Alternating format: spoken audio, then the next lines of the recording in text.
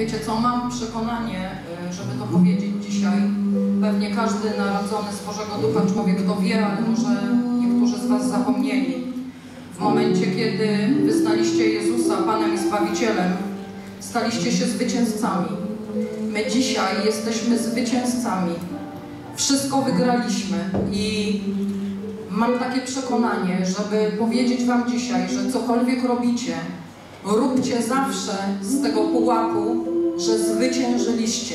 Nigdy już nie będzie gorzej niż było kiedyś. Poznałeś Jezusa, zwyciężyłeś. Masz problem, mów do tego problemu, do każdego kłopotu, do każdej rzeczy, która do Ciebie przychodzi z pozycji tego, że już wszystko zwyciężyłeś. Nie możesz niczego przegrać, możesz jeszcze więcej wygrać. Mów zawsze z tego pułapu.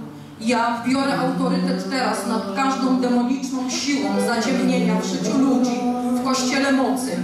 I mówię do Ciebie, diable, masz ustąpić przez moc krwi Jezusa Chrystusa. Każda demoniczna siła zaciemnienia odchodzi teraz. Ja otwieram kanały Bożej mocy, Bożego Słońca, Bożego pokoju, Bożego światła do życia ludzi. W imieniu Jezusa Chrystusa. Amen. Amen.